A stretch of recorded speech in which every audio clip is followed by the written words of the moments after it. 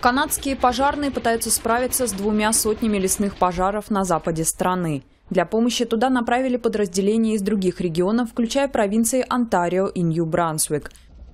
Большинство пожаров полыхают в провинции Британская Колумбия, причем 46 из них начались за последние два дня. Две трети взять под контроль пока не удается. В некоторых населенных пунктах организуют эвакуации. Особенно тяжелая ситуация в городе Литон, где пожар полыхает уже неделю.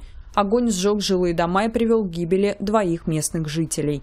Пожары в Канаде начались из-за сильной жары и огромного количества ударов молний. Так, за сутки с 30 июня по 1 июля в Британской Колумбии и Западной Альберте было зарегистрировано более 710 тысяч разрядов. Как отмечают метеорологи, обычно в этот период их около 8 тысяч.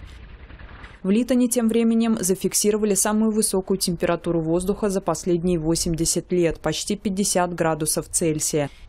Из-за жары в Британской Колумбии скончалось 719 человек. В настоящее время она идет на спад.